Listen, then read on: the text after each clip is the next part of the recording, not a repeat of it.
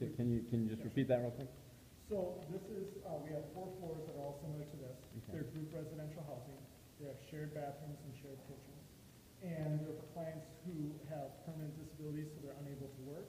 And they're also long-term homeless, which is homeless for twelve months or consecutively or four times in the last three years. And these are single occupancy rooms with shared bathrooms? Correct. And then we also have a case manager